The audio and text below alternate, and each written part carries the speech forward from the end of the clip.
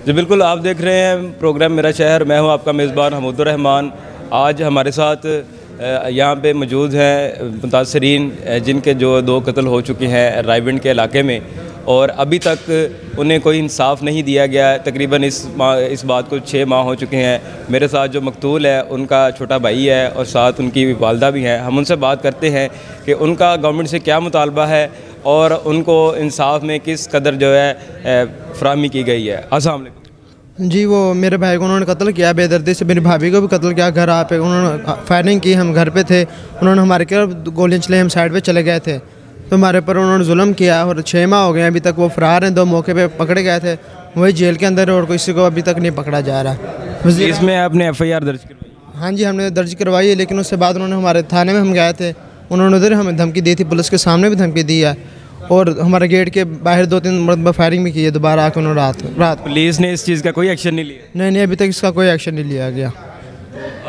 छः माह हो गए हैं। आपने किसी और बड़े अफसर को दरख्वास्त दी हो या पुलिस ने आपके साथ किसी किस्म की कोई हेल्प नहीं किया आप? नहीं अभी तक तो कोई हेल्प नहीं की। अभी तक बंदे नहीं अरेस्ट हुए थे। किस चीज़ की हेल्प हो रही है? क्या इंसाफ है? ये पाकिस्तान कैसा पाकिस्तान है? कैसा हमारा वज़ीर अजम है? वो कहता था मैं गरीबों को इंसाफ दिलवाऊँगा। ये कौन सा इंसाफ दिलवा रहा है? ऐसा ये आप जो बता रहे हैं सफदर पुलिस वाला है इसका क्या किरदार है? जो हमारे गाँव का है। इन्होंने मुखबरी दी है। जब मेरा भाई अंदर मौजूद हुआ इसने मुखबरी दी है। मौका पर वो आ गए थे उन्होंने। मेरे भाभी को और भाई को सीढ़ियों से उतर रहे थे सीढ़ियों पर उन्होंने मार दिया था।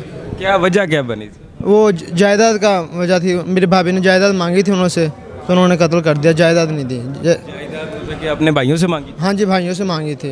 उन्होंने उनको कत्ल कर दिया? कर दिया जायदाद ना देने की वजह से। मेरे भाई को भी कत्ल कर दिया। जी, नाजरीन, आपने सुना है जो भाई है मकतूल का, उनका कहना है कि हुकूमत की तरफ़ से कोई भी एक्शन नहीं लिया गया पुलिस ने हमें कोई इंसाफ फ्राहम नहीं किया। हम जो मकतूल की वालदा है, उनसे बात करते हैं कि उनका क्या कहना है। वालेकुम। भाई, मेरे बेटे को मार दिया, पौड़ियों से उतर रहा था। मैंने उसके दोनों हाथ भी पकड़े, मैं कि वकार, इसको ना मार मेरे बेटे को। उसने उसी वक्त फैर, दोनों हाथों में पिस्टल थी। दोनों हाथों से उन्होंने मारा। चार भाई, तीन भाई आए थे वो, और उन्होंने बेदर के से मारा, दोनों को ही। पुलिस में आपने पुलिस ने आपकी कोई हेल्प की है कोई नहीं की मेरे लिए तो अभी तक। क्या आप आला हुकाम से क्या अपील करेंगे? बस यही है कि मुझे इंसाफ चाहिए। इंसाफ की ज़रूरत है जब मैं बेवा औरत हूँ छोटे छोटे बच्चे हमें धमकियाँ देते हैं घर पे आकर। कितनी कितनी देर हो गई है इस बात? छः महीने हो चले हैं अठारह तारीख थी उस दिन। अभी तक आपके कोई इंसाफ कोई इंसाफ नहीं हो रहा मेरे साथ। और धमकियाँ देते हैं घर पर आके फैर भी करते हैं रात को आते हैं बारह बजे आगे एक बजे आगे। को, कुछ नहीं कर रही मेरे साथ। कोई इंसाफ ही नहीं मिल रहा मुझे। छोटे छोटे बच्चे खेत में भी नहीं जा सकते। हम जमींदारा करते हैं। हमारे बच्चे पाँच छः महीने से घर में बंद बंद हैं। जाते हैं तो फैरिंगे करते हैं। बाहर डराते हैं बच्चों को। कोई इंसाफ नहीं मिल रहा मेरे जी नाजरीन सुना है आपने मकदूल की वालदा का उनका कहना है कि हम जो है ज़िम्मेदारा करते हैं हम बाहर भी नहीं निकल सकते। इलाके में जो है खौफ हरास फैला हुआ है। वक्ता फ़वक्तन हमले करते रहते हैं। पुलिस भी इस बात से आगाह है लेकिन इसके ऊपर कोई एक्शन नहीं लिया जा रहा। हमारे साथ और एनी शाहिदीन मौजूद हैं। हम उनसे बात करते हैं कि वो इस वाक़े के बारे में क्या कहते हैं। असल सर। वालेकुम अस्सलाम। अच्छा ये बताएँ कि क्या वाक़ हुआ है? वाक़ इसी तरह हुआ है। वो कुछ लोग मसल्ला साथ आए हैं वो तीन भाई आए हैं। वो गेट से अंदर पहले उन्होंने बाहर फायरिंग की है। हम वहाँ महल्ले की हम देख रहे थे। उन्होंने फायरिंग की, फिर अंदर घुसे। अंदर जाके उन्होंने इनके भाई को कत्ल किया और फिर भाभी को कत्ल किया और नारे लगाते हुए गाँव से बाहर गए। और दो तो मौके पे पकड़े गए और दो इश्तियारी हैं, बाकी मसल्ला जो अफराद थे वो सारे मोटरसाइकिलों पे, को गाड़ियों पे आए थे, वो सारे भाग के गए। सारे गाँव ने, दिन का वाक़ ये, सारे गाँव ने देखा है। लेकिन इनके साथ अभी तक कोई इंसाफ नहीं हो सका। हमने देखा है कि छः माह गुजर चुके हैं, गाँव वाले लोग भी जाते हैं, थाने में भी जाते हैं और साहब अफसरों से भी कहा है। लेकिन कब किसी ने इनकी हेल्प नहीं की। लिहाजा हमारी तो वज़ी अला साहब से गुजारिश है और वज़ी अजम से गुजारिश है कि अगर माड़े लोगों को इंसाफ न दिया गया तो ये लोग कहाँ जाएँगे और क्या करेंगे?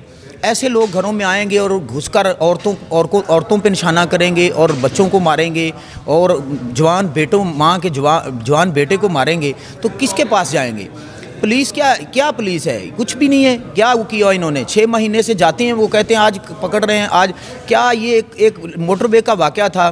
कितने दिनों में उन्होंने बंदा गिरफ़्तार कर लिया था? क्या पाकिस्तान से बाहर तो नहीं गया? लिहाजा उनको भी पकड़ना चाहिए। अगर किसी गरीब का कत्ल हो जाए तो उसको छः माह गुजर जाते हैं। अगर किसी अमीर का कत्ल हो, जिसके पीछे कोई पैसे वाला हो, वो उसका चौबीस घंटे, पच्चीस घंटे, ज़्यादा से ज़्यादा तीन दिन के अंदर अंदर बंदा गिरफ़्तार होता है। ये गरीबों का क्या है? गरीब तो इसी तरह पसी, पीसते रहेंगे।